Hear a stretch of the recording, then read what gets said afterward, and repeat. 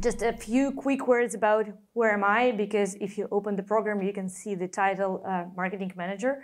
Uh, I hate talks from marketing people, but I'm actually a C++ developer before JetBrains. I spent um, eight years in embedded networking, telecom development. I was launching 4G, LTE networks, all this kind of uh, cool stuff uh, was in my background. But then I joined JetBrains as a C++ tools product marketing manager, like developer advocate, product marketing manager, all kind of stuff. So Yep, uh, and you can reach out to me via Twitter if you have anything. Just uh, let me know there. And also, if you're somewhere around Amsterdam, where I'm currently living, join the C++ Dutch user group. It's awesome. We do host it quite often in JetBrains and also in other places. And we have nice audience. We're open for speakers or just visitors. Anyway, so C++. Um, standard tool set. So do we really have it? So let's start from the a little bit far away. So let's look at the frustrating points we have in C++. And this is the data from the C++ Foundation Lite Survey 2023. I kind of highlighted um, a little bit. The green things are the things which are unchanged for two, three, four years there. The uh, pink, uh, like highlighted in pinks, are the things which actually moved to the top uh, in 2023 and like yeah the, the rest are just unchanged. So uh, take a look and realize that the biggest pain points in C++ are still around tooling so these these are the things unchanged for many years like managing libraries is the first frustration biggest frustration point for the majority of the C++ developers since uh, what time the C++ Foundation started actually doing the survey so it's on top uh, build times is also there, like CI pipelines, development environments. So the people do suffer uh, in this um, aspect. And so let's see actually why. Because the rest you see, like the, the language, the typical safety issues, yes, some of them uh, actually moved to the top this year, but generally they are in the second part of the table. So they are also important for many people for sure, because the people do uh, care about the um, safety, type safety, and all these things in C++ and how to do them correctly. But the biggest frustration points are regarding the tooling. So let's figure out what is actually the tool set. So let's just uh, put the definition here so that we're all on the same page. So there are essential tools in the tool set and there are like complementary tools. Essentially, uh, insertional tools are the tools without which you, you can't develop. Like you can't develop without a compiler, right? So you know uh, you, you, need to compile at some certain point of uh, your development um, timeline and like you need maybe some libraries you need maybe the debugger. I usually put it to the essential tools but if you ask like rust developers they will tell you no it's like complementary tooling. Uh, i prefer to put it to the essential list like uh, build system or the project models and like dependency management, at least to some extent, even if you just cook it uh, manually, it's also essential. Complementary tools which are nice to have, but you can kind of survive without them, but maybe that will be like uh, a huge pain is like the static analyzer or dynamic analyzer.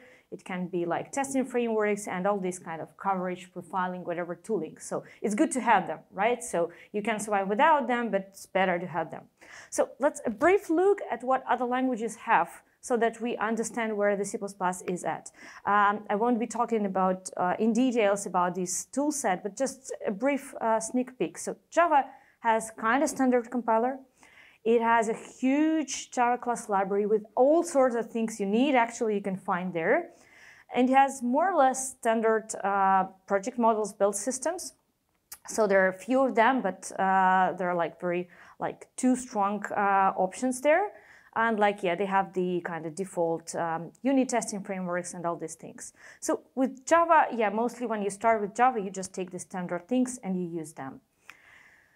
Ruby, if you look at this uh, language, has actually several compilers, but they are very much different because they all using like different um, philosophy of like compiler, you know, different approaches to the compilers. That's the funny thing that actually Ruby community, they re really have different types of compiling approaches implemented in their compiler. And I like their like uh, Rails test. If you haven't heard about Rails Singularity, that's a fantastic thing. They have this very famous, famous framework called Ruby on Rails And the good compiler, the compiler which is trusted by the community, is the compiler uh, which could actually, uh, you know, run this, compile this Ruby on Rails successfully. So that's just a basic test for every compiler.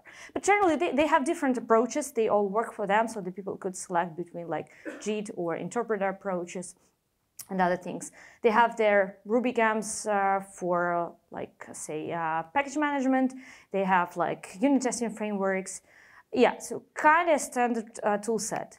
The tool set, which is definitely a standard one, is the one like you know maintained by Apple for Swift. The, there is no question. Like you get the compiler from Apple, you get the whole tool chain from Apple, you get the SourceKit, uh, which is like the LSP, the analyzer. You get the debugger, and they even like this is all LLVM based, but the toolchain is patched by Apple. So the Clang you get uh, from Apple is not the mainstream Clang. The LLDB you get from Apple is not the mainstream LLDB. So all these sort of things, but they definitely show that their toolchain is working for their languages, uh, their language fantastically. And they have like um, SPM. They also had CocoaPods, especially in the past when they it was just Objective-C but it looks like the more people are going to the SPM right now, which is the standard tooling from Apple.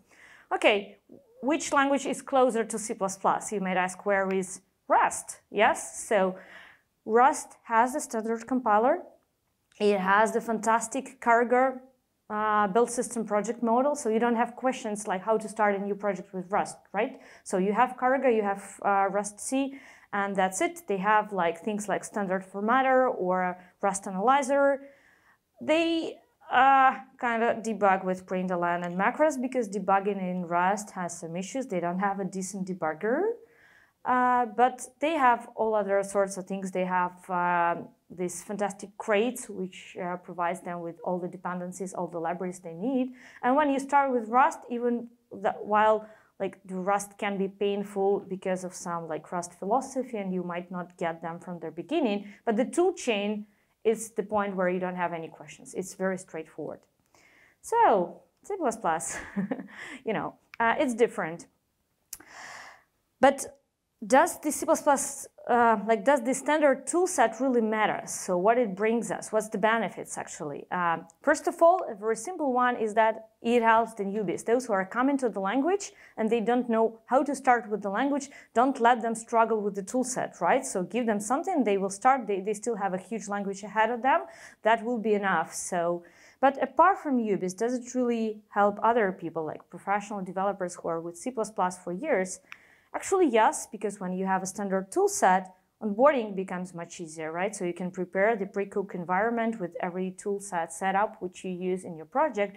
And when a new person is coming to the project, you just say, okay, go there, take that environment like say Docker container or something else, and everything will be there. The Docker, Docker is probably the most popular way just to pack all this tool set and say like, yeah, just download it and like launch this container and everything will be there for you. Uh, it of course helps with some code unification and like you can make the code uh, like look uh, like yeah unified uh, sorry for repetition. And you can easy easier adopt the best practices when you have the standard toolset right? Because you can just apply them to to this specific toolset and you don't have to think about many options and yeah, of course, like uh, the biggest point we have is for sharing libraries, the standard toolset kind of help you when you just know where to take the libraries. Because this is the most popular question every C++ developer at some point of their life ask is how to take the library. So how, how to do that? How can I connect, say, I want to use Google Test. How to do that? So where, where to take it? So how to connect it to my project? Should I compile it with my project, really? Um, so let's talk about the variety. Is variety is really good or bad? Because I don't think it's always bad. I mean, like, uh, it has some uh, benefits, and let's see what actually we have in C++ and what are the uh, pros and cons.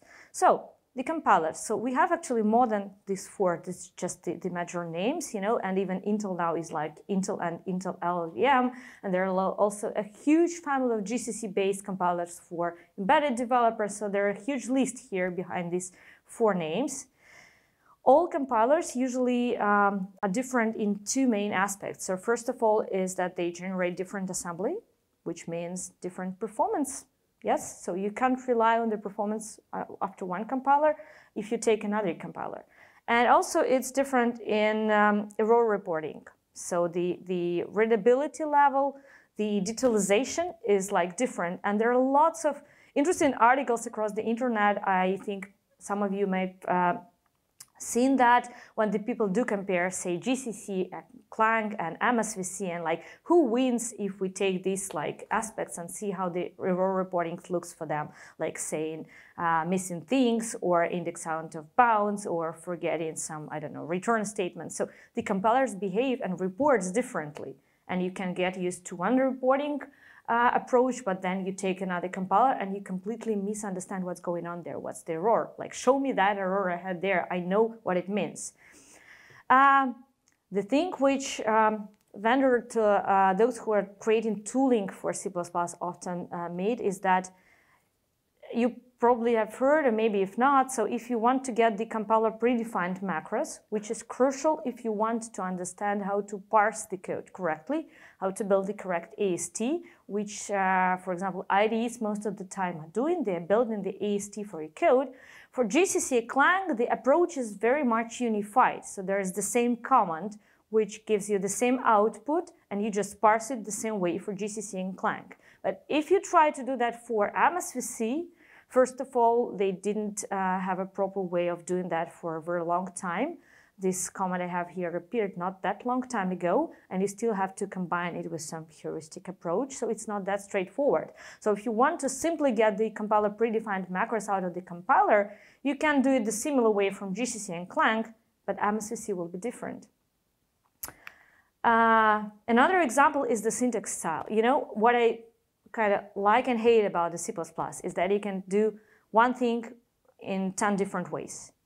And uh, when some people ask me like, can you, for example, search for code duplicates in my code in your tooling? I say, hell yes, but write them in the same syntax style because you can do that completely different in C++. And there are like just a few examples here, say uh, almost auto approach or when the people try to put the type uh, in most of the cases or like the you know simple const west east battle even these things are different. Uh, trailing return type when they uh, appeared for lambdas the people say like should we use them just for lambdas or everywhere? It also changed um, like can change from one code base to another code base. And even the guidelines sometimes do recommend the completely different thing like the uh, virtual usage word is different in the Unreal Engine guidelines, which is the biggest engine for game development, and in the C++ core guidelines, for example. They do recommend the completely different things to, to be used in the code. They have reasons for that, of course, but yeah, the thing is that the syntax style could be very different. I would show you this uh, huge table. Actually, that's just a part of the table. It's not all. This is the settings we implemented in our like tooling in ReSharper C++ to give people an ability to configure the C++ syntax style. So you see the whole table doesn't fit into one slide. It's huge. So you can configure all these types of things. And these things could be different so, and in one code base, the one will be like the standard approach. In another code base, the people will be doing completely different thing. And the people comment from one job, say, to another, say like, how to do the code here. So how to use auto here, where to put the const here. Am I putting it on the right side or like, will they just like, you know, remove me from the team because I'm putting it on the wrong side? Um, all these things matter. And sometimes you can do some nice stuff when you can say, uh, implement some automatic conversion, like we try to help people to do in the tool, and like, for example, uh, move this return type to the trailing return type. But sometimes it's uh, not a matter of the tooling, it's a matter of like, what's the standard. So, okay, what, what's the standard? Where are we now? C++ standard toolset. I remember this fantastic picture from the Bryce talk. It was at C++ Now. He was talking about the C++ library, and he was showing how many um, aspects the C++ and the C++ library is now covering. And I think it applicable to the talk of the C++ toolset as well, because you see that C++ is for any problem, any paradigm, and any platform. So it's everywhere. So because of that, probably the single uh, standard toolset is not simply possible. Yeah, so you can't unify to that extent.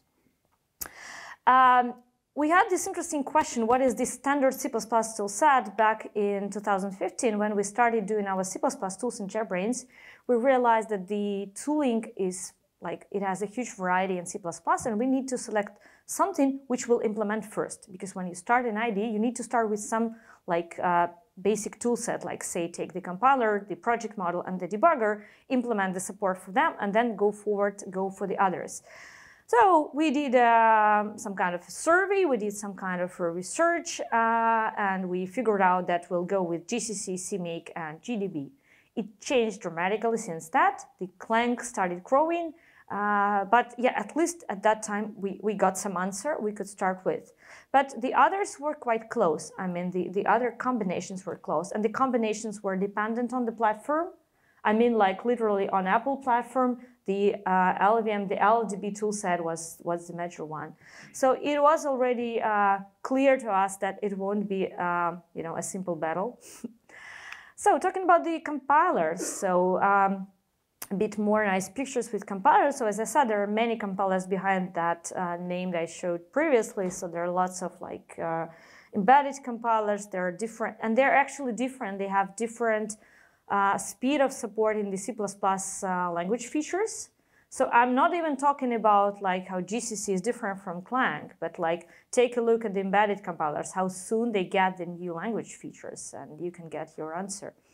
But so what's the usage? So you know that we are kind of keen of doing the surveys. I was doing a small lightning talk yesterday about that. So uh, we asked our, um, like our respondents what compilers they're using, and this is the data we get from the our developer ecosystem 2022 survey and also from the C++ Foundation um, 2023 survey. So um, for sure, the compiler depends on the default of the operation system. So like GCC is more popular on Linux, like or Clang is more popular on macOS. Um, like Windows is different. and depends on what you do. Say if you're doing the game development, the tool set for you will be like MSVC plus uh, MS Build plus whatever from Microsoft. It's usually the default. If you're doing embedded, like it's something like GCC or IAR or the Scale or Green Hills or whatever, there are many names there. Um, it's also interesting that like Intel now has this old Intel and new Intel if I may call it that way, like new Intel is the Intel LLVM based. Uh, and it's interesting that there is also Clang CL. We put it as a separate option in developer ecosystem because it's actually not really Clang. It, it is Clang, but it's different. So, um, because it's like uh, rely on the Windows H and actually on the Windows ecosystem. So, and you can see that uh, generally, yeah, the GCC is uh, probably more popular for especially for embedded. MSVC is mostly trending for game dev people. And uh, yeah, Foundation gets more results for MSVC, but I guess that's because they actually get more uh, Windows-specific people, game developers, and you can see that from their audience. Talking about other differences of the between the compilers, and um, have you ever like yeah tried to find the universal way of how to enable all the warnings and convert them to errors? just. If you're, again, on GCC and Clang, that's very straightforward. We all know that mantra, V all V extra. Uh, but if you're on like Microsoft compiler, you have the different uh, options. And I've seen this code in CMake many times. Like when the people in CMake, they have, because the CMake is kind of this cross-platform universal, you know, um, project model generator build generator, and the people put these uh, huge uh, if branches for compilers trying to compile the things properly. And you have to do that, otherwise it won't be compiled correctly. Um, talking about the compatibility with the standard, let's just look at how uh, the recent C++ 23 features come into the standard look in the compiler. You can see like the, the first three columns is GCC, Clang, and MSVC. Uh, you can see it's different. Okay, well, that's C++23. You can say, what's about C++20? They should be more or less aligned, right? So let's take the three major features from C++20. Uh, I don't think that's the alignment. I think the situation is completely different. And for many years, actually, before C++20, Clang was trending and was ahead of others in terms of implementing the new language features. But somehow it happened that with C++20, the speed of adoption of the new features decreased for Clang. And while, like, say, the concept prototypes was done by uh, Saar quite quickly, but it was merged quite late to the uh, to, to the to the Clang like uh, mainstream. And the modules, I'm not talking about them at all. It's a complex thing about like how they got the support. So you see that the compilers they are different a lot, even in these basic things of just supporting the standard. And you have to take this into account when you are moving uh, between the compilers or between the versions. The interesting thing is that Clang is actually much more than a compiler. It's beyond the compiler. It's the whole ecosystem right now. So LLVM, it's like the compiler, it's the libclang, it's the daemon uh, D, which is now used uh, quite often by the modern tooling, including the IDEs. We also do use it a lot. Uh, it's like an LSP, and also it provides all this analysis via the Clang analyzer or the Clang tidy, which is like the most popular analyzer. We'll talk about it later. Uh, Clang format, it's not exactly like the Clang. Uh, it has some fuzzy parser, but still it's part of the ecosystem. So every tool that literally needs an AST, they usually try to move to Clang. And I know uh, many tools who in the past were trying to do their own parser, but in the end, they at least partially, like we uh, did, move to Clang. So you still can keep your in-house parser, but to get this uh, pace of the new language features adoption, you still kind of implement some support for Clang, and it's actually good for that. I mean, there is a huge effort in the community to make Clang applicable for, for tools for querying the AST, not just to be the compiler. And I have a few, I had a few talks in the past when I was explaining how the compiler actually is different from from parser in these kind of tools, and it's different things. But Clang is good for that, so it's the basis for many C++ tools these days. Like you can love it or hate it, but it's the fact. Okay, project models. Uh, that, that's tough. You know, uh, there is kind of no single project model, while we have some winners in this race for the years.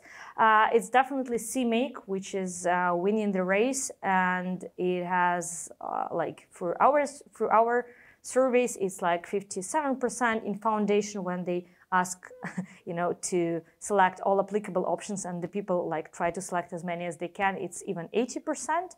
So it's big, it's growing. It took the first uh, place from um, MS Build from Microsoft Build System several years ago, I would say about five or six, and it's still growing. And I see a huge effort of uh, like people coming to CMake. So actually, yeah, that's how, how it looked like. So uh, you see it was growing and at some point of time it uh, overgrew the MS Build. And actually, yeah, again, I will refer to Bryce who said at C++ now that if you want a standard C++ build system, you got one. It's called CMake. That's it. Yeah. Uh, actually, not exactly true because if you take the game developers, they will tell you, oh, no, we have MS Build. This is our standard build system. And if you take embedded developers, they will be like, uh, kinda, we're still on Makefiles, maybe moving to CMake. So it's not that uh, black and white, of course. If you look, however, at the CMake adoption, you can see that the way it's growing is really uh, impressive because first of all, like, yeah, there are libraries, there are IDEs, and there are package managers now focused around CMake. Yeah, so like vcpkg generates CMake, many IDEs support CMake, many libraries try to provide the CMake support to get better adoption for the library. That's nearly the golden standard. So if you want your library to be used, put a CMake there. Uh, even Qt, with their like favorite QMake, started some migration to CMake in the end. Embedded developers are also migrating to CMake, actually. They're not stuck with Makefiles now. So Zephyr RTOS migrated to CMake, which was a huge move. Uh, it's an open source real-time operation system um, from the Linux Foundation, if you don't know, and it's used in uh, many, many things if you um, like ever um, see embedded developers, they're quite often using the, uh, the FreeRTOS and Zephyr RTOS.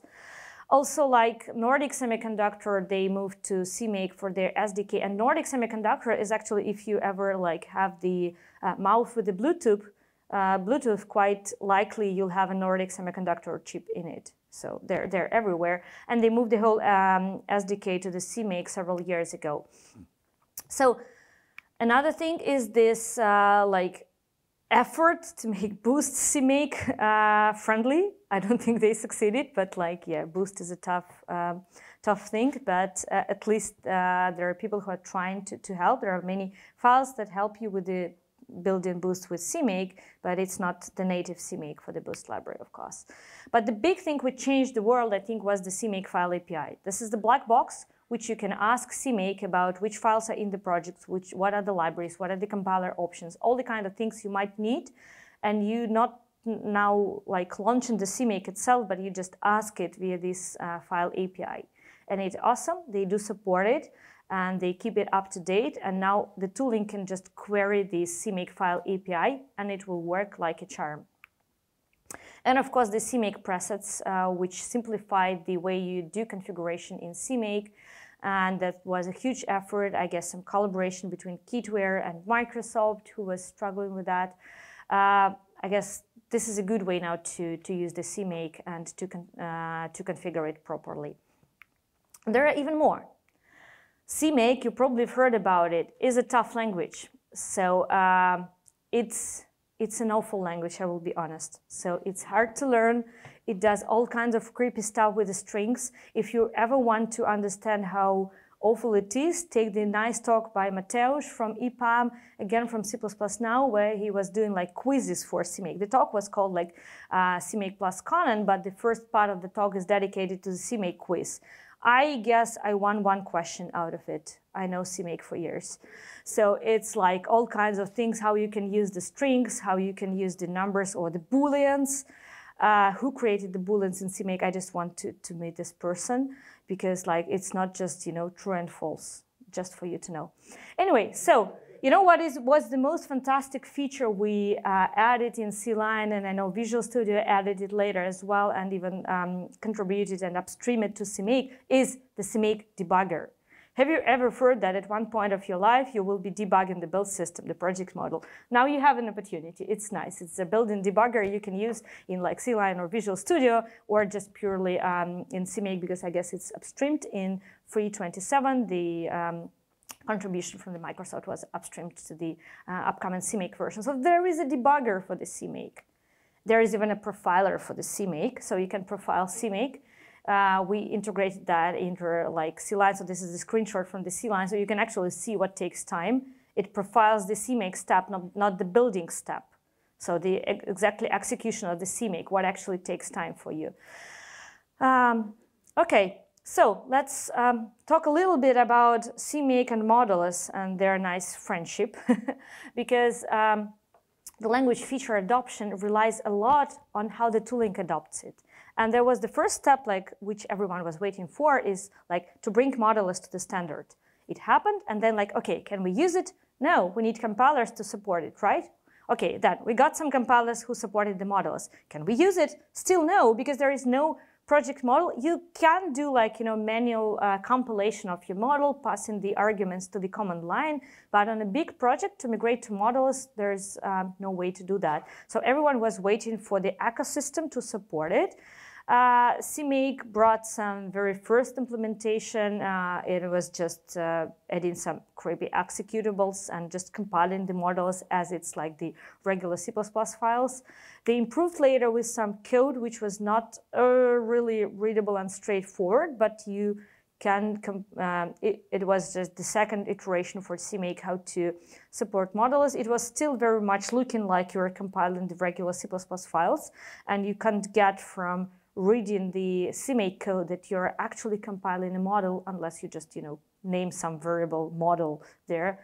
Um, it's a better way now. Uh, so there is at least uh, some specific um, variables for that which you can set. It still looks to me a little bit like I'm compiling some C++ files and uh, project model is not uh, exactly aware that I'm doing the work with Modules, but uh, at least it works. So there are some examples by the links here which are working. Moreover, the important step was that in 3.26, they added support for Modules to the fi file API I was talking about before. So now you can query CMake file API and ask like what are the Modules, which files belong there. And that's very important because now that means that the tooling, say IDEs and others, can properly support Modules based on this file API. Um, okay, talking about the dependencies, um, as I said, that's a major pain point for the C++ developers. And you can see that uh, if you ask C++ developers how they manage dependencies in C++, uh, the trend for C++ Foundation results in DevEco is the same. They just have, in the Foundation, they have just bigger numbers. But generally, the majority of people have it like part of their build. So they just put their libraries into their project and do compile.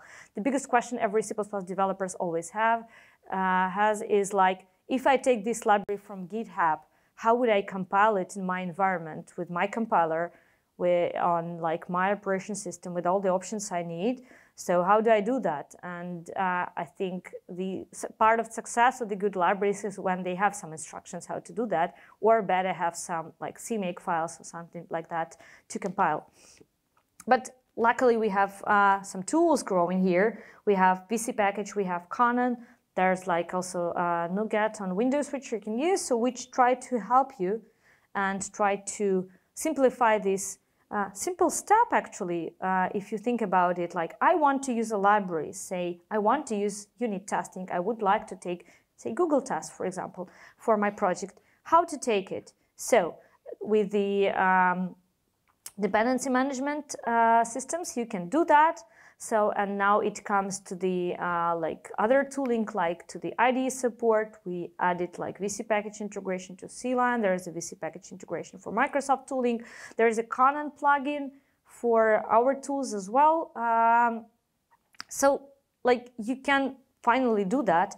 The thing we learned while doing that, by the way, was that when we implemented the support for vcpkg and we started looking at the Conan plugin, which exists for several years by that time, but uh, it was not like up to date with their recent Conan release. And we did a few like UX studies with our users, and we realized that the people are using the package managers quite differently. And it's even if they use the same, say, vcpkg, some of them are using the manifest mode, some of them are doing like some uh, other old style modes, and it differs. And we have to support all these modes uh, in the tooling uh, so that they, they have this flexibility. Okay, talking about the other tooling, about the formatter. Um, this is kind of uh, important because I, I, know quite many languages which has their standard formatting tooling, like say uh, rustfmt is a standard formatting tool for Rust. So for C++, I guess everyone agrees that Clang format is kind of uh, standard tooling for us here.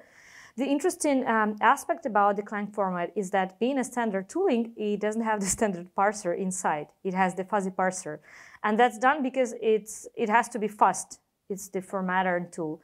And it's not uh, utilizing the whole um, like Clang parsing model. It has some fuzzy parser. So sometimes the formatter, uh, how the formatter behaves different from how the compiler behaves on your code. But I guess the people just got used to it. And they are like, when you try to format with the proper, um, say, Clang compiler, uh, AST, they say, oh, no, no, this is incorrect. It should be different. So they just got used to that, but that's fine. Uh, the hardest part about the uh, Clang format is that they are quite often breaking the uh, compatibility between the versions. And I mean here that they sometimes have like some options which they do convert from text values, say, to enumeration.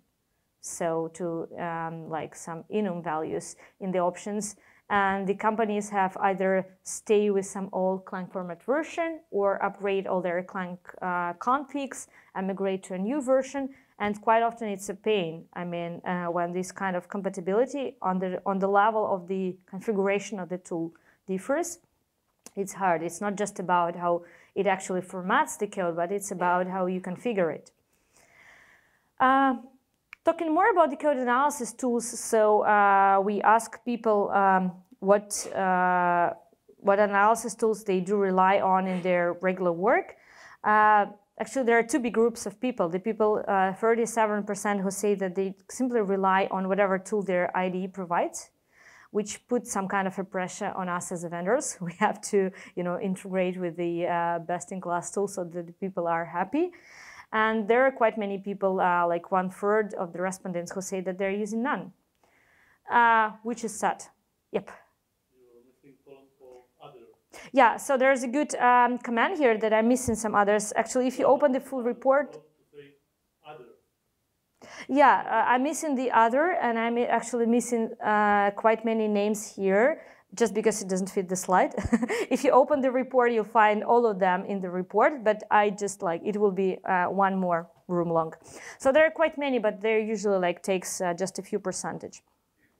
So um, generally, uh, interesting thing is that when we ask people when do they do the uh, code analysis, uh, it's not just uh, the people who like quite many, nearly the half, just wait for the compiler to do the checks. So that that's obvious. It's an easy way, right?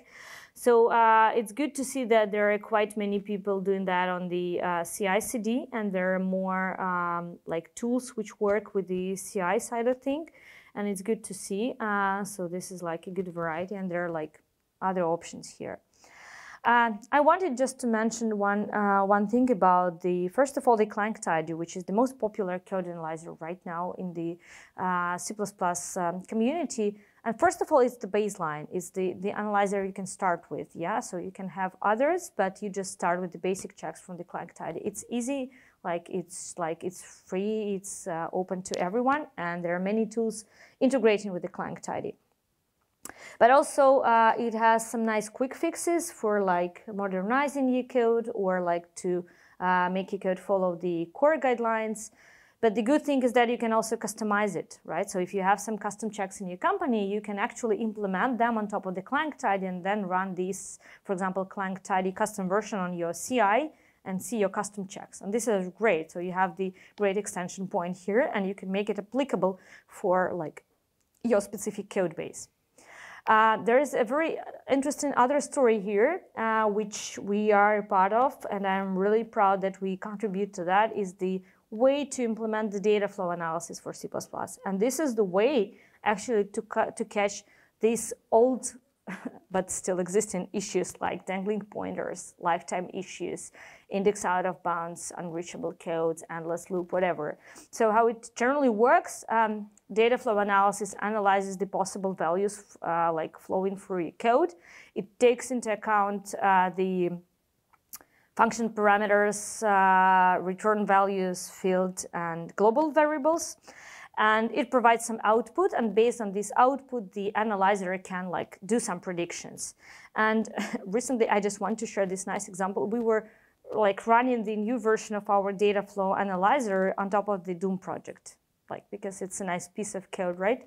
So and uh, we actually figured out that there is some nice array and it has some specific length and our analyzer finally showed us that the index may have a value 63, which is out of bounds. And that what could happen, we even created the example where we crushed them because of that, because there are literally index out of bound issue in this code. And that's what you can find with the data flow analyzer. So you can do that. Uh, the power of the data flow analysis actually happens when you realize that it can start with a simple analysis inside the function scope so just analyze how the you know, data flows inside the function. But it can be extended to the translation unit. So it can be cross-functional uh, functions analysis. But it can even be extended to the cross-translation unit analysis.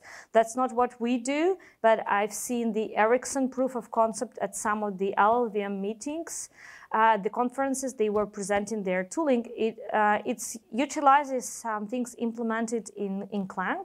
So there is some API, um, how you build all these um, databases based on the compilation database, how you collect the data.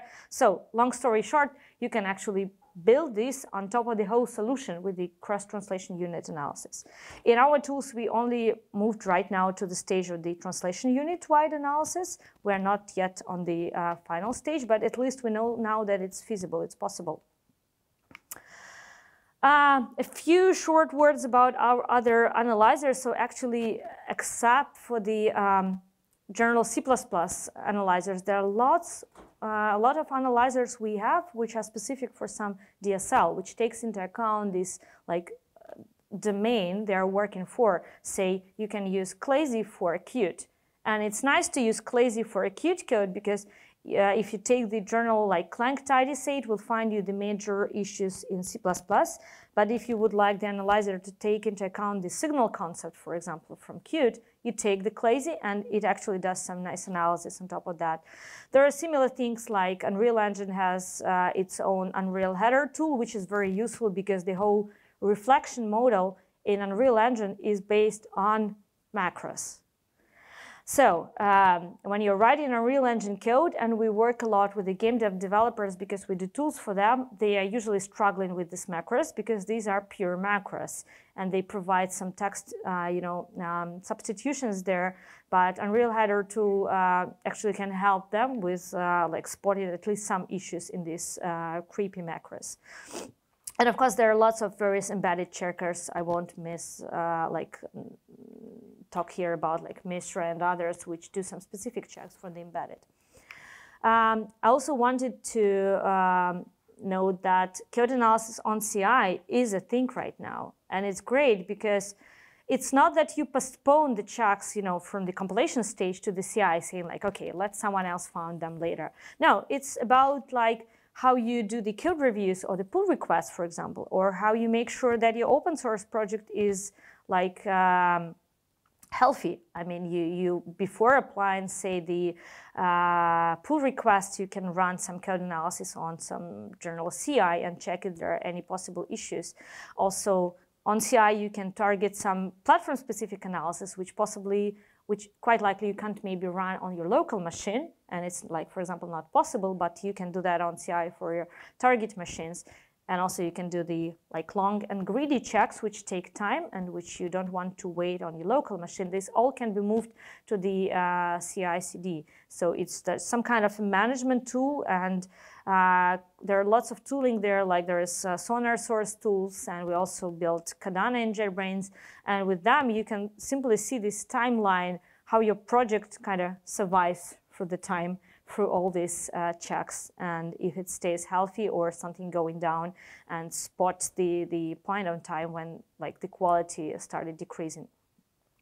Um, actually, there I even did a big talk at NDC Tech Town uh, last year and in C++ now in 2019 dedicated to the code analysis tooling and how we use them, what, what we have and what's possible there. And you can also learn about data flow analysis in details there.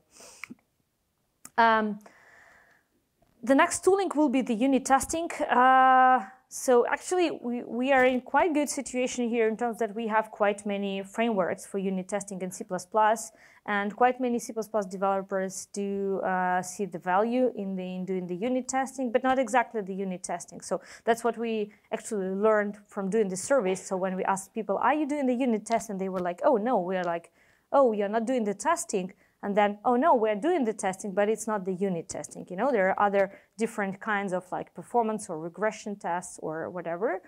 Uh, but in terms of the unit testing, we have quite a good uh, family of tools. The Google test, which was always, uh, from one side, a pain to start using it, but from the other side, it, it's still the, used by the majority of the C++ developers and also the C developers. Uh, the problem is that you always need to think how you compile that. So luckily, we now have like package managers approach, for example, when we can ask them to help. Catch was very, very popular. I guess it's still popular. Uh, I'm not sure um, how the community feels about that. They moved from the header only to the um, library distribution model. So they were a header-only framework until Catch, uh, Catch 2, uh, version 3. Uh, yeah, th that's their naming. Like Catch 2 version 3 is not a header-only uh, um, unit testing framework anymore. Before that, you can just uh, you could just include Catch HPP uh, file and you're ready to go. But because they saw quite many users who requested some advanced and profound features, I guess that's where they're reasoning to change the distribution and to avoid the overhead for everyone, simply moving with these uh, like advanced features in the header-only framework. So, and yeah, but it's moving also to the new standards like Catch 2, I guess is using C++ 14, and there are like some um, tendency to move to C++ 17. Now, DocTest could be your next uh, popular unit testing framework if you still want to stay header only. And it uses uh, like some modern C++ features also. But like, yeah, there are there are options um, you can use. Uh, also, talking about the, the variety, there are also, if you talk about the unit testing, there are also coverage tools which actually show you how many like lines or statements or branches, uh, sorry for the two uh, branches in your code you actually covered. Uh, there are two major tools like uh, llvm-cov and gcov, uh, which the people are mostly using. Interestingly, they behave differently, especially when you um, calculate the branch coverage you get different results with them. So you have to be careful because sometimes developers are surprised that they kind of they got the 100% coverage, then they run another tool and the coverage is different. It's like less than 100%. That just because they uh, do the different type of calculation. And also uh, what affects the result is if you are using, say, exception handling, it also uh, affects the final results. Okay, finally, uh, the uh, nearly the final slide before the references is like what we were talking here about. So first of all, do we have a standard toolset? Not in the sense, uh, like not as Swift or Rust say, like, yeah, so we, we can't take just one compiler, one project model, and there are reasons for that. So uh, do we have commonly used tools for various use cases? Yes, which is good, so we can get more, and uh, there is a huge opportunities for some. Do we still miss some tools? Uh, say package manager, which is more popular? Uh, probably yes. And we definitely can unify more. And there's this, uh, you've heard um, the effort um, in the community to unify some things in the language to make um, like vendors' life, uh, tooling life easier also among, among the other reasons. So we can do more unification and it will definitely help. And the story with the model has showed us clearly that the unification is important because it's not just about creating the language feature because, before you come to the adoption, it's about the tooling. Yeah, and I guess that's uh, it. These are some references if you would like to, you know, to dive into some of these reports, talks, and learn more about some data, and I'm ready to answer some questions. Thank you.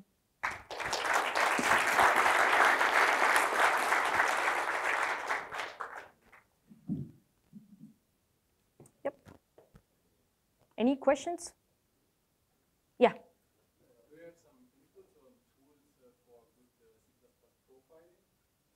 Uh, talking about the profiling, yeah. So um, actually, uh, I did a few demos yesterday at the booth uh, when I realized that the people uh, sometimes don't know about some very good basic default stuff. Actually, there is dtrace on macOS and there is perf on Linux, which are awesome.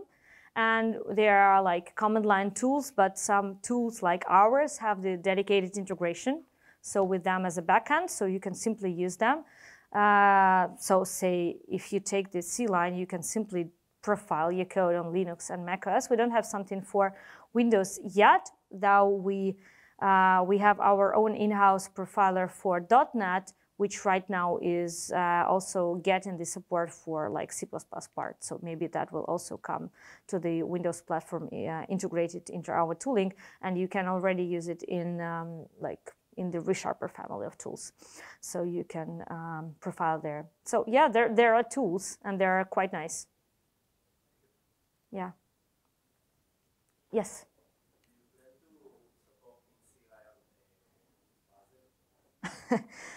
um, yeah, the question was uh, if we plan to support Bazel in CLion. Uh, tough question mostly for the booth, but I will answer from here. So we do have a Google plugin for Bazel because the Google was the main um, contributor and they're the most interested in Bazel. They have the plugin. The problem with the plugin was that at the time they created the plugin, and they still support it, so it's a little bit behind the major release versions, but uh, it doesn't use the proper API because we didn't have one. So our plan for now is probably, uh, and we collaborated with Google about that already. We plan to rewrite it, but it will take some time because it's a unified plugin for C++, Java, and other languages and technologies. So for our tools, we need to kind of rewrite the whole plugin for all the technologies. So it will take some time, but uh, I hope that the new plugin for Bazel is coming because the old one has some issues. Yep. Do you think that, um, that the that vcpkg is influencing um, how much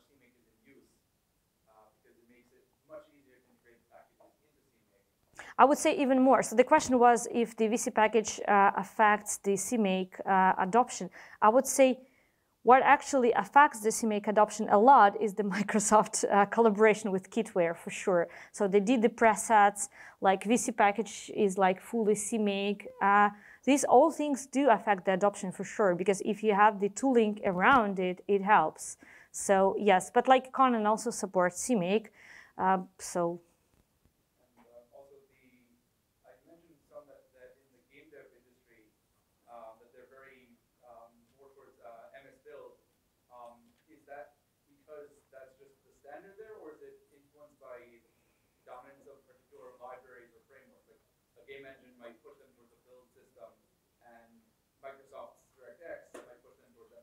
Mm -hmm. Yeah, so the question was uh, about the um, MSVC and uh, like Microsoft tools which dominate the game dev and what is the source for that. I'll try to answer not to disclose quite many NDAs here, which I know. So first of all, yeah, it is the default tooling for game dev by now.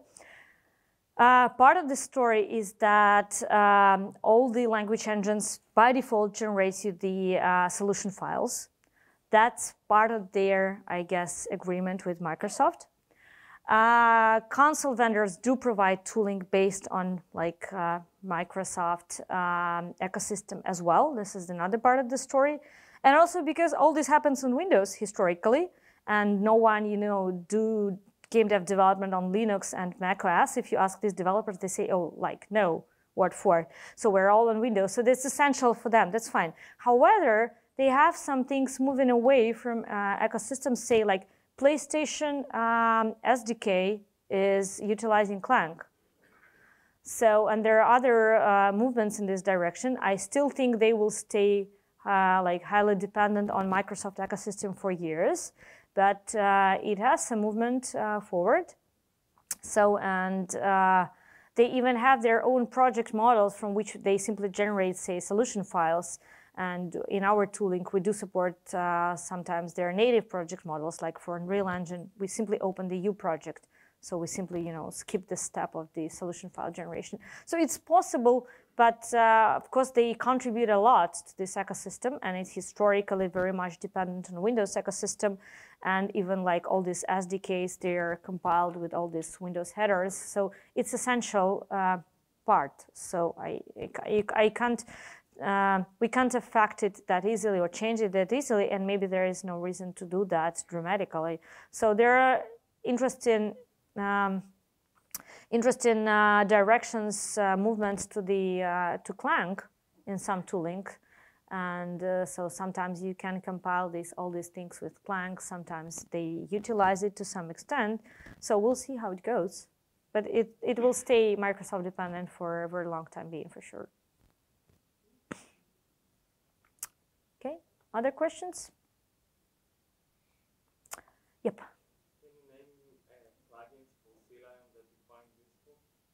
Uh, plugins for CLion which I find useful. Okay, since I did um, eight years of my C++ development, most of the time I did in Vim.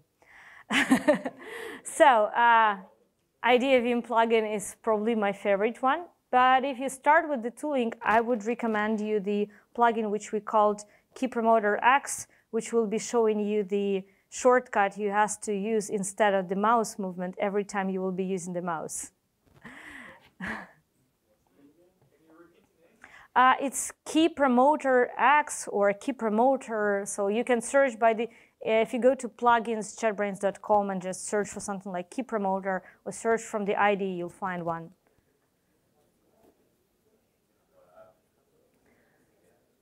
Okay, other questions? If not, then thank you very much, and you're welcome to the booth.